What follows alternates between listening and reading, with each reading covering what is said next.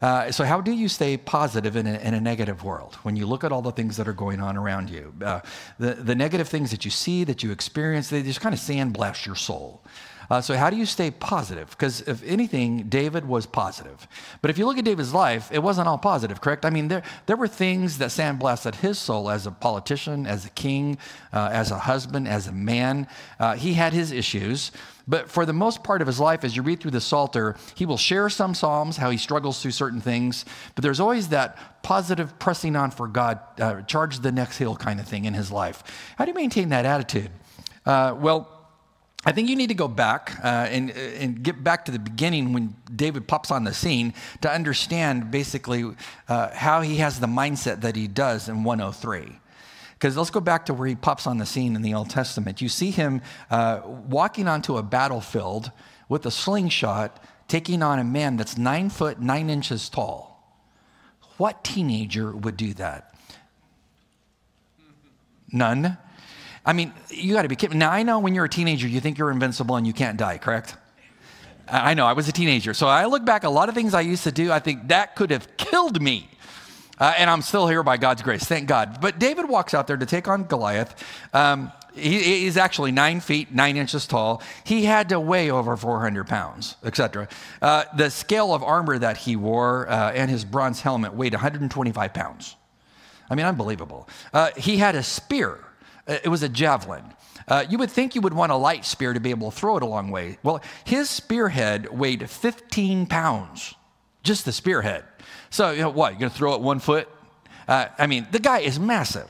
So when David goes out to take on uh, Goliath, we, we get this positive image from him when he goes out to take him on. Because here's the first thing he hears from uh, the Philistine uh, 1 Samuel 17, verse 43. The Philistine looks down at David, and I, I, take all my tour groups to the valley of Elah. And when you see this battlefield, it's not very big. There's a hill over here, there's a hill over here, and there's some farming land in between, and there's a river that's dry now going through it. And this is where this took place. It's not very big.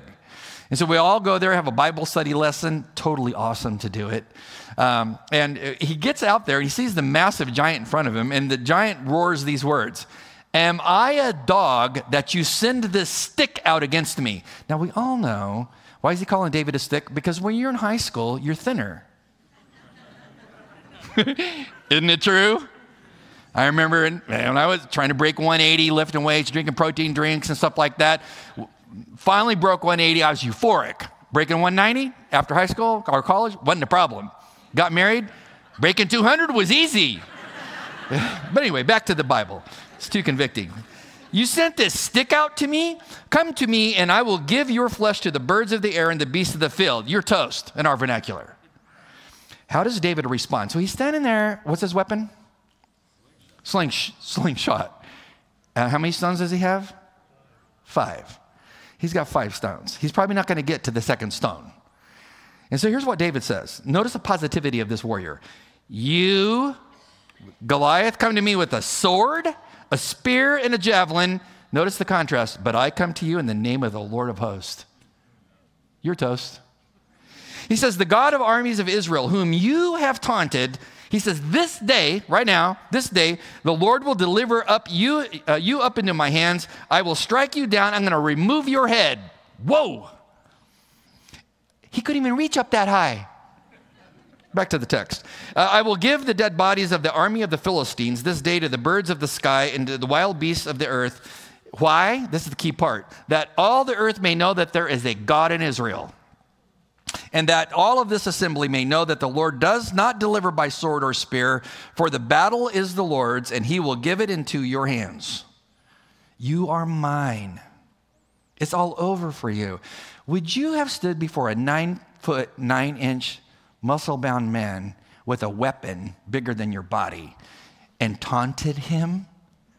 You know, I wrestled in high school. You know, when you, when you wrestled and they would put you on a scale, there was two scales before the match, and that's when you saw your opponent, and you would go through the locker room, and their team would come out, and your team would come out, and when you stepped on the scale when you met your opponent. You, you were not nice. It was not like, hey, how you doing? How's the family? What's going on in your life? That's when you saw him, and it was psychops. But you would size him up and go, I got this guy. I got a guy one time, uh, he was no stick. I was a stick. He was massive. You know, like some men in high school develop, the high school students look like they're 40. That type of thing. And so, so when David, you relating to some of this? You know what I'm talking about? So, so David's like, and I, am going to totally own you. Why? Because God is with me and you defied God. So today's the last day for you. How did he remain in a, a positive spirit in a, in a situation like that? So when most people would have imploded, David exploded. Most would have imploded in fear. He explodes in faith. How do you have that positive attitude when the world around you is throwing a Goliath or two at you? So you might be sitting here today going, Yeah, I got a Goliath. Okay. Who is your Goliath? What is your Goliath? It could be external to you, it could be internal to you. But what is Goliath? So, how do you maintain an attitude? Well, uh, that is positive attitude to, to live for God. Well, he's going to tell you three things in this passage. Number one, what should you do? He said, Well, first principle in the first five verses is pretty simple. Let God be blessed by your blessing. Let God be blessed by your, by your blessing. I mean, all Jews learned the, that prayer, Baruch Adonai. Blessed is the Lord. You want to bless God, which means you're going to say good things to God. Now, I'm going to point out to you in this text, how many verses are there? Do you have a Bible? You don't have a Bible?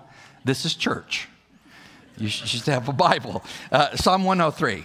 Uh, so there are 22 verses, and it takes me about 10 minutes to move for, through a half a verse. So we're going to be here a while. So let God be blessed by your blessing. So notice what he says. This is a psalm of David. That's in the Hebrew text, uh, in the superscript. It's, that's inspired. He says, uh, pay attention to how you should approach life. And he's going to say, say it three times in case you don't get it the first time. Bless the Lord. How much of you? Oh, my soul. Well, it, how much of your soul?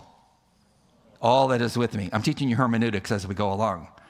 All that is with me. What should I be doing? In case you didn't get it the first time, what should you be doing? Well, blessing his holy name. And in case you didn't get it, what should you be doing in verse 2? I should be blessing the Lord. How much of me? Oh, oh, my soul. And what should I be focused on? Well, not forgetting his benefits to me, what he's done to me. I should be living a life of blessing. So these are, as I've said before, uh, in the Hebrew text, these are not suggestions, they're commands. They're commands. They're perpetual commands. This is how you should live your life is not focusing on you, focusing on God. Not focusing on you, but focusing on God. Not one time in these 22 verses does he ask anything for himself. Try praying like this. Next time you pray, tell God, it's only going to be about you. I'm only going to bless you. I'm not going to ask one thing for myself. And if you're sitting there going, well, what, what would I say to him? Well, he says, think about uh, blessing God for his benefits. So uh, if you are, are, you have tomorrow off? You're off tomorrow? Um, your assignment for tomorrow, because you came to church for an assignment, correct? no, I came to church to relax. Not here. No, an assignment. So your assignment tomorrow is you are sometime going to get alone with God and you're only going to you're going to bless him with blessings, right? That's what he says. Because when you pour out blessings to God, he pours back into your life that positive joy to press forward through the, the despondency that you're facing, Goliath. And so he says, in case you need uh, the pump primed, uh, exactly what you would bless God for, he says, Let's, uh, let me go through some of my big ones. He says, verse 3, well, what does God do? Well, David says, let me, let me look at my life. Number one, God pardons all of your iniquities. Two, he heals all of your diseases. Three, he redeems your life from the pit. Four, he crowns you with loving kindness and compassion. Five, he satisfies your years with, youth, with good things so that your youth is re- renewed like an eagle. Wow. He says, if you need things to focus on, well, here's some, let me tell you. He says, um, when I want to bless God, I, I focus on the fact that He pardons how much of my iniquity? All of it. All of it. Aren't you glad? He, he pardons all of your iniquity. Now, there's different words in Hebrew, in the Hebrew text, for the word sin. Uh, this particular word uh, for uh, uh sin, iniquity, means to twist and distort something. So if you're a man and trying to show your wife how strong you are and you got a, like a Diet Coke can and you want to crush it with one hand, it's not too impressive. Get a can from the 60s. What were they made of? Steel. yeah.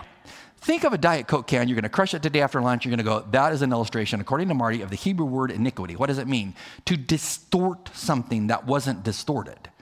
What is sin? it's a distortion of something that was not distorted, right? And so he says, when I think about God, I have a lot of distortion in my life, uh, and God has forgiven me of that. So what's, what, what sins would David need forgiveness for? Well, What was the big one? Do you remember David? You never heard of David? He had a problem with, uh, what's her name? Bathsheba, yeah, saw her taking a ritual bath. If you understand the topography of Israel, King's palace was higher on the ridge just south of the, of the gates leading to the temple was his house. And then down from there were the houses of the Israelites. And she's taking a ritual bath. He can see. And we all know what happened there. I mean, that went south on him big time.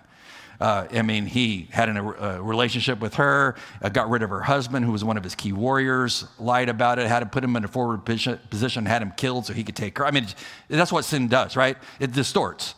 And so he went after somebody that wasn't his wife. He committed adultery, and everything just unraveled from there. He said, God, I thank you that you're a God that forgives all of my twistedness when I come to you. Psalm 32, verse 5 says this I acknowledged my sin to you. I did not cover my iniquity. I said, I will confess my transgressions to the Lord. Notice the cause effect. I'm going to confess. Effect is, you forgave, the you forgave the iniquity of my sin. You forgave my distortion. But it didn't happen unless he did what? Confessed. And so God looks down from heaven and says, You know, I will pardon you as my child, but you got to confess first. What happens if you cover up your sin? And say, I'm not going to confess that. Well, then it eats away at you like a cancer until you know you got to come clean. So David says, When I think about blessing God, I, I, bless the God who pardons me. And then he throws in verse three I, I bless the God who heals all of our diseases. You know, when you're preaching through the Bible, it's a little more difficult than if you're just doing topically, because topically, topically, you can skip by things that are difficult. I'm just saying, talking about a pastor. You can skip stuff if you're doing topical. I was like, oh, that's too difficult to talk about. And I'm, and I'm translating my, my Hebrew text this week, and I get to this verse, I'm, I'm like, he, God heals all of your diseases. Well, I'll just pass by that one. Can I pass by it in this kind of church? Sure. so you have to ask yourself a hermeneutical question, a Bible study question, methods. Does God heal all of your diseases? What say you? No, no not, not disease, because we do get disease. I mean, we do. I mean, my, I watched my dad die of brain cancer. I watched my sister uh, die of ovarian cancer three years ago. I was with Liz's twin sister when she died at 33 from breast cancer. I mean, I, I mean, I've been down the road. Uh, I've, I've seen all that happen. Uh, but when you, when you look at it, it's like, okay, in, in the practical, uh, people get things, and saints get things. And like my best friend uh, Rick, that died of uh, pancreatic cancer, had a homicide before I moved here 12 years ago. Uh, he told me one day after I did communion with him, he said, I, I, Marty, I don't know why you guys are crying. None of us are getting out of here alive. Rick, you're such a pragmatist. It's true. It's true. So when you look at your disease, disease and, and, he says he heals all your diseases, then how do we process that? So I'll, i could do a whole sermon series on this. So I'll just give you kind of the skinny on it. Um, you could say this is hyperbolic, because we all use hyperbole. You understand hyperbole? You overstate a fact uh, to state a point. So he could be saying, God is amazing. He heals. Sometimes there's exceptions, because even David lost a son, did he not? Sure, he did. So David knows in the practical that there are situations that God allows for his purposes that are beyond David's pay grade to totally understand. But, but he can hyperbolically say, but God is great. That if he chooses to heal, he can heal. But sometimes he uses healing uh, uh, in lives to accomplish things. Sometimes he does not. So consider how the Bible shakes out. In uh, 2 Corinthians chapter 12, verses 1 to 10, Paul uh, says, Three times I asked God to remove my physical malady from me. And they believe his physical malady was his eyesight was deteriorating. I, I can totally relate. Because if, if I were to take my glasses off and walk toward that screen over there, um, I would never see it because I tried it the other day. Would you want to get in the car with me with my glasses off? And no, because I, I, I tried it. I walked all the way over there and I could not see that screen. So I can relate to Paul. God, would you take this malady away from me so I could see? And God tells him three times, No, I'm not going to do that. And what's he tell Paul in 2 Corinthians 12? My grace is sufficient for you. For when you're weak, uh, that, that's when I'm strong for you. And so we know from 2 Corinthians 12, Paul was not healed by God because God tells him, Because I've gifted you so greatly, you have such great spiritual gifts, I have to use something in your life to humble you. And that's that's a purpose of God. But then on the other side of the, the equation, we find uh, Peter shows up at the temple in Acts chapter 3.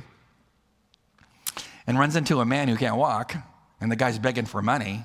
And the beggars are still there at the temple. I see them all the time when I go there to Israel. He, he can't walk, and he's got, you know, alms. And what does Peter tell him? You know, uh, gold and silver, silver have I none, but because I know the risen Lord and Savior, uh, he can give you new legs. And, and the guy gets up and walks. And so God healed that man. Why? Well, he's going to validate the ministry of Peter. So God has his purposes. So uh, the other thing ab- about healing uh, is the, the Hebrew word to heal is rapha. And that word, if you look at it lexically, at its etymological developments, it's various meanings because it has more than one nuance. Uh, it can denote physical healing. It can also denote healing or uh, of the spirit, spiritual healing. So in that sense, you could say, well, God does heal. He heals all sinners who come to Him in faith. He says, I, I praise God for the fact He's healed me. Number three, God, he says, has redeemed me from the pit. Uh, the pit is just another word, the Old Testament word for Sheol or the grave.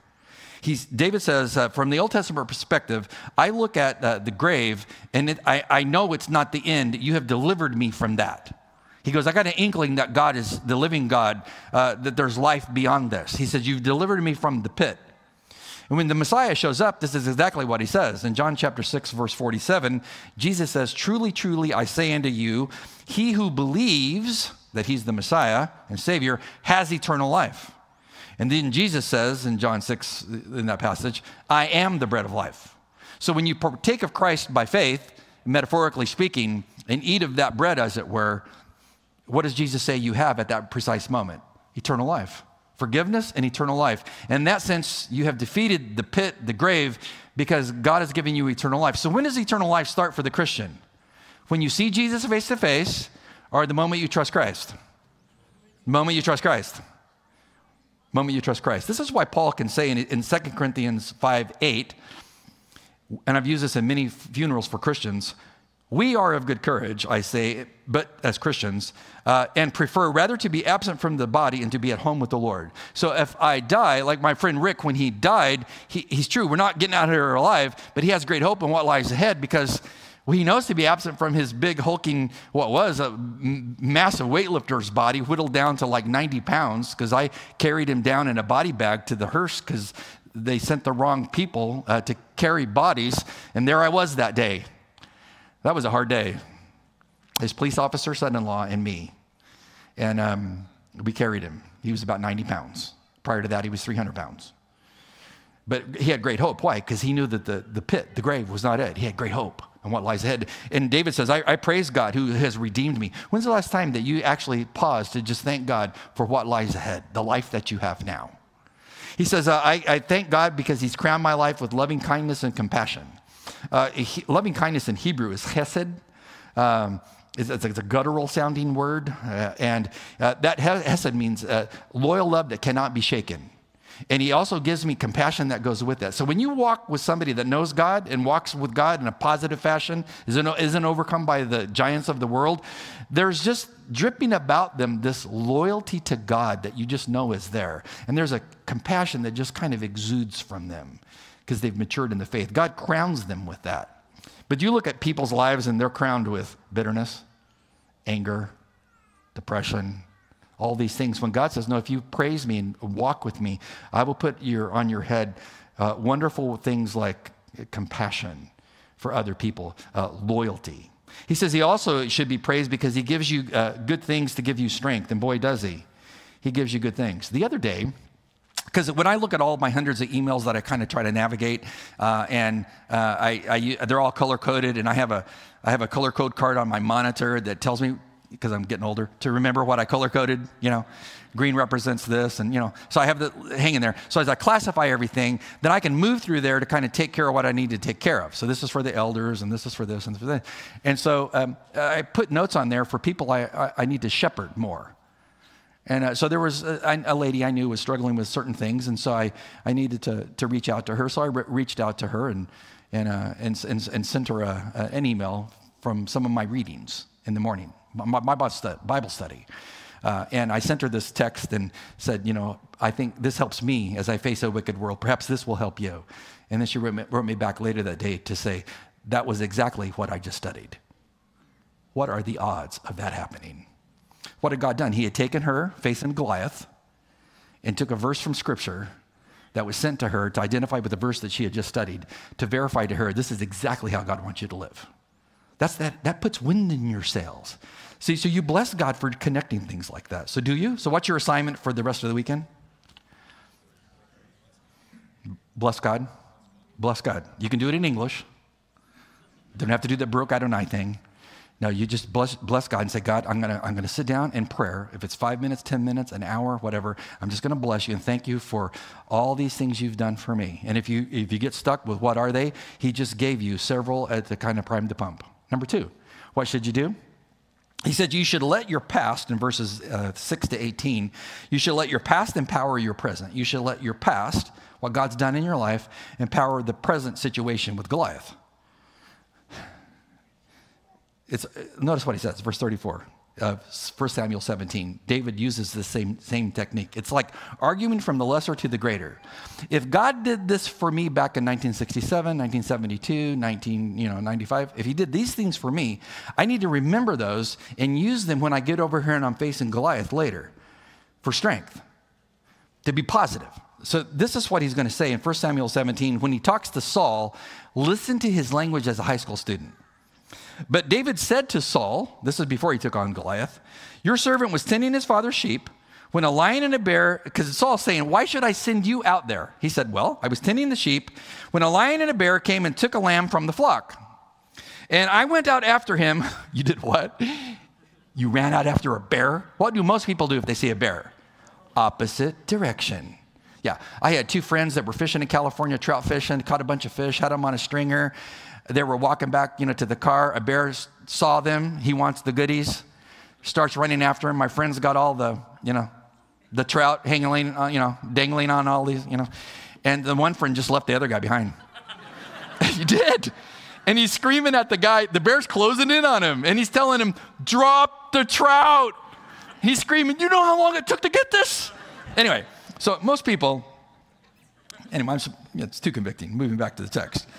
So he says, uh, I went after him and I attacked him and I rescued him from his mouth. And when he rose up against me, I seized him by his beard and struck him and killed him. Are you kidding me? Have you seen a lion at the zoo? I mean, have you? Have you not? I have many times. And they're just kind of sitting there calmly. And you look at the size of their paw and you're thinking, that paw is bigger than my face. Who in their right mind, if the, if the lion had one of your little lambs and you've got another 99 of them, would go, I'm getting it back. I'm grabbing his beard. Who? Yeah, I got 99. I'm good. No, I, I, I, grabbed him. I killed him. Your servant has killed both the lion and the bear, and he's, this uncircumcised Philistine, he's going to be like one of them, since he taunted the armies of the living God. And David said, The Lord who delivered me from the paw of the lion and from the paw of the bear will deliver me from the, the hand of the Philistine. Arguing from the lesser to the greater. If God allowed me to save a little lamb from a bear and a lion, what's a 400 pound Philistine? You see the argumentation? Would you say that's positive? At my last church, we went on a campout near Lake Tahoe to a place called Bear River Reservoir. What did I just say? Bear. Why did they name it that? Yeah, so we get up there, we set up all the tents for all the church, and they're all over the hillside, and, and it was totally cool. And I had a high school, no, it was a college student, walked up to me. Uh, she's got tattoos and everything. She walks up to me. She said, "Hey, Pastor, you know, she's kind of a gangster kind of girl," and says, "I was just kind of wondering because she she didn't go camping. You could tell." She said, uh, "Why did they name this place Bear River Reservoir?" I go, "Honey, if they named it Squirrel River, oh, I see what you're saying. she goes, You mean there's bears here? Mm-hmm. Squirrels too. Yeah. well, so we're sitting there one night and, and we built a huge bonfire for the church and we're doing the s'mores thing. Aren't those great? And uh, we're having a great time and the fire dies down. It's about 1, 1.30 in the morning. Uh, and so we're all peeling off to our little tents. And there's a police officer with us, with his family. And he has his service revolver, his 9 millimeter with him. Okay? Take note of that. He peels off with his wife, goes into his tent up the hill, zips the tent closed. And so everybody's sitting there, you know, talking, fire's dying down. And, and finally, there was one college student left there by himself. He's just sitting there chilling, looking at the fire, the embers, thought he heard something, looked to his left, didn't see anything, looked to his right, and there was a snout of a bear right there. I can tell you what he didn't do. He did not grab the beard of the bear. He did not. I heard the commotion and the screaming of that skinny little stick of a college student running through the camp. It was embarrassing. He runs into the police officer's tent in the middle of the night, two in the morning, unzips it, runs in, zips it back. the cop wakes up. He says, What are you doing in my tent? He said, There's a bear out there. He goes, Get out of my tent. anyway, back to the text. I submit to you, David is totally brave, is he not? See, you need to look at your Goliath and go, I'm not running from this. Why? Well, because God's with me. So he says, Man, let me remember back to the times of blessing when God blessed, and I'm going to extrapolate to the present to get total strength from that. So he's going to go through three things. So if you look back and you go, like, I can't remember anything in my life God doing that was just like miraculous. Well, start where he starts. He starts with Moses, and he says, Well, I can remember back from what I've been told by my parents and when I learned in, in, in, in uh, you know, at the synagogue, etc. I've learned that God did some amazing things at the Exodus. Notice verse 6 the Lord performs righteous deeds and judgments for all who are oppressed. That's the Israelites in captivity. He made known his ways to Moses, his acts to the sons of Israel. Boy, did he. Says the Lord is compassionate and gracious, slow to anger and abounding in loving kindness. He said, I've read the, I've read the Torah. And it has taught me that, that God, in the times of Moses, with the Israelites in the wilderness for 40 years, he was compassionate to them, gracious to them, slow to anger, abounding in loving kindness. Yeah, I've seen all of that about God. And, and I, he said, I've seen God do some amazing things to free the Israelites from their captivity, like wipe out the entire uh, Egyptian pantheon when he, when he brought all the, all the plagues. I mean, you would think if the old 80 something year old guy walks down with a wooden stick, sticks it in the Nile, and it's instant blood, you would be thinking as an Israelite, yes! God is powerful. Because that's not normal, right? He says, Yeah, God is so great. I remember how great He is. And he says, I remember the past victories of God, and I extrapolate, those to the present to say, if that God can do that for old man Moses and the Israelites, then what can He do in my life? Remember, Moses comes down from the mount with the tablets. What would you want, not want to do with tablets that were written on by the finger of God? Drop them right? What'd he do? He walks down from the mountain. He sees the Israelites partying around the golden calf. He breaks them. He breaks them. What does God do later? God shows great grace in Exodus chapter 34, verses 1 to 2. He makes new ones. Awesome. So he says, I look back at the great things that God has done, and I take those miracles and I extrapolate those, from those and I apply them to the present. Do you? Or you, do you tend to forget the things that God has done? Remember the other Sunday when my best friend from high school showed up here uh, unannounced to me? Hubert? Blew me away. As they're trying to rush me off the stage, I'm trying to talk to people, they're trying to rush me off the stage. What's the problem? And they get me out here, into the foyer, and I hadn't seen Hubie since 1976. And I told you he had changed, I had not. And, and but, but Hubert was passing through town, and I hadn't seen him in all those years, and he just wanted to say hi, and he wanted to tell me thank you for sharing Christ with me and leading, leading me to Christ when we were kids in high school. Because when he joined the Navy and became a corpsman in San Diego, I went to college in LA.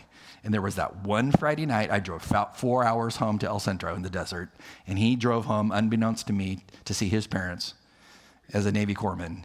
And we both, without knowing it, both went to the high school football game to see friends, and we both found each other he didn't have a car, I had a car. After the game was when I went to his mom and dad's house and led him to Christ in the parking lot.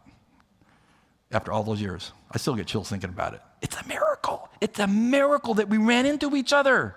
So next time you hit a tough spot, you look back and go, man, God did that. And if God can do that miraculous thing and save somebody and free them from bondage, man, what else can he do? He also says in verses 9 to 12, uh, remember that when God is, uh, God is tender when you, when you trip up, not if you trip up. You will sin today. You understand this, correct? yeah. You will probably sin leaving the parking lot. Somehow, something's going to happen. Okay? All right, you just let another Christian get in front of your car when you thought it was God's will, predestined for you to get in front of them, and all of a sudden you have sinned, okay? Just look at yourself and go, Marty said this would happen, okay? So he says, when you sin, remember that God is tender.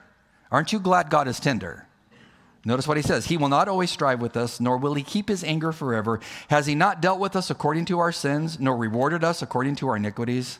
For as high as the heavens are above the earth, so great is his loving kindness. There's that word hesed again, toward those who fear him. As far as the east is from the west, so far as he removed our transgressions from us. He says, when you think about how God is so great, he's tender to you when you blow it. He says, I thank God all the time. I remember when he's forgiven me. So if God were to judge you and treat you based upon his holiness and your lifestyle, would you see tomorrow to cook out? No, no. No, remember the other night we had that huge uh, electrical storm that rolled through here? Totally awesome. I love, I love to watch lightning, uh, and I went outside to experience it because it was like blowing up my neighborhood. I just want to feel the power of God, and I went out. I'm smart to a point that I, I went, I went out on the front porch and I'm like, man, this is awesome how great God is. I thought that for about mm, five seconds until a bolt hit near my home. And then I quickly went back inside uh, because I am a logical person and realized God could take me out. Um, but you know, if, if, if, if God treated us according to his holiness and how we walk on a given day, there would just be constant lightning bolts. Oh, they're gone. Oh, they're gone. Oh, they're, they're gone. Because he would not be tender. He would take you out. And he says, God, I am so glad that you don't reward us according to our iniquities, our t- twistedness. You, you forgive us, you pardon us. So when you are looking at the times when, when God has taken you when you've sinned and you've come back and forgive, asked for forgiveness and, and, and repented before him and he forgave you, uh, that is what you extrapolate from into the, the present situation with your Goliath to say, God, wow, thank you that you treat me with grace. Aren't you glad? If this was a Pentecostal church, everybody would be saying amen. amen. I wasn't telling you to, just think it. We're an abstract church. Um, third thing, he says, God remembers us that we are finite, frail creatures, doesn't he? He knows what are we made out of? Dust. Dust. See, he knew that Moses had issues when it came to speech, didn't he? He picks, a, he picks an old man who has stuttering problems to be the leader of the nation. Can you imagine? I'm gonna, you're going to be the main spokesman to the entire nation, and that's what I want you to do. And he's like stuttering through telling God no. God used him anyway. See, God uses things that aren't perfect vessels.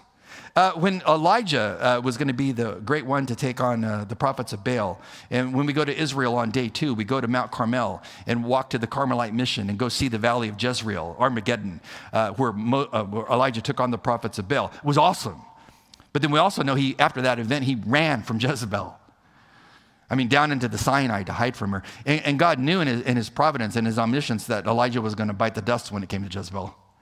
But he used him anyway, didn't he? I mean, you can go down through the list. Uh, Peter, uh, was he a perfect man? No. He had issues, didn't he? He tended to be like the bull in the china shop. He's the guy who would act first and then think later. Uh, James and John, they were named sons of thunder. Why? Because they needed anger management classes. They're two disciples. And God says, I'm taking all these dysfunctional, broken people and I'm going to use them because I know they're frail creatures, but I can do great things in and through them. This is what David says here frailty. Says, just as a father has compassion on his children, true, so the Lord has compassion on those who fear him. For he knows our frame. He's mindful that we are what? Dust. We're just dust. As for man, his days are like grass, a flower in the field, so he flourishes. When the wind has passed over it, it's no more, it, and its place acknowledges it no longer. But notice the contrast. But the loving kindness of the Lord is from everlasting to everlasting for those who fear him, and his righteousness to the children's children, to those who keep his covenant and who remember his precepts to do them. Heavy on to those who fear him. If you're a child of God shaking your fist in God's face and thinking God's going to bless your life, as one young lady I was counseling this week uh, hasn't got a clue, but who's involved in sexual sin, and I'm telling her, you need to come clean, and she's not coming clean. I told her, God will not bless you. He will only bless you if you move away from sin. But how often do we, we're frail and we, and we bite the spiritual dust. But he says, if you fear me and you walk with me, you will, you, I will pour my compassion all over you because I understand how frail you are. You're frail. Uh, my favorite uh, flower in my yard this time of year uh, are, are, the peony. Uh, I didn't grow them in California. They didn't grow very well there. I didn't know what they were when they first came here. I'm like, whoa, what is that? So now I have bulbs all over my yard. Uh, and I love it when they start coming up and they start forming those little bud nodules and they're going to explode. You know what I'm talking about? You feel my joy? And then they explode. And then my wife cuts them all and puts them in the house. She loves to have the beauty inside the house. And um, I was cutting the, deadheading the other day, and I'm thinking to myself as I'm cutting them, this is my life. It comes up, it's powerful for a moment, it's enjoyable, but it's like a flower, and it fades. And there comes the time when it's, it's done. And I am so glad that God understands that I'm like that flower. Uh, I'm frail. I'm frail. And that because he understands that we're frail, he, he's then gracious and patient with us in our frailty. Aren't you glad? He says, think about when God has forgiven your frailty, extrapolate to the present, and get great strength from that. Lastly, he closes uh, with a, a concept uh, which is most amazing. Um, from a rhetorical structure in the Hebrew text, we would call this inclusio. Inclusio? Inclusio means how you started is how you ended. How you started is how you ended. So it, it's a, a Hebraic uh, device to tie a bow around what was just said. Well, what's the bow? Well, the bow has everything to do with blessing. And I would summarize verses 19 to 22 this way Let God's reign be, it's a play on words, be your reign. Why? Because if you're struggling with Goliath, uh, these negative things, it can suck the life out of you. It can, it can take the, your life and so suck the life and the joy out of you. Your life is like broken, dry dirt that's not fertile anymore when you're dealing with Goliath. And David closes this out to say, well, how do you, how do you battle that? Well, you want God's reign that he rules to be poured all over your life. Because when I understand that he's on his throne, then no matter what Goliath I face, face, it's going to be okay. Why? Because he's with me.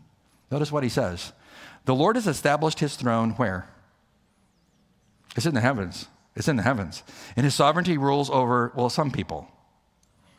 All. All believers and unbelievers. Uh, everybody, every general, every admiral, every politician, every school teacher, every banker, every investment broker, all. He rules over them. So if I understand that God's reign in the heavenlies is over all, then if He's over all and sovereignly all powerful, then I can look at my life and think, I, I, need to, I need to live differently when I'm thinking about Him. So, in light of what He says there, notice who He says should bless God. Two verses. He says, Bless the Lord, you His angels, mighty in strength, who perform His word, obeying the voice of His word.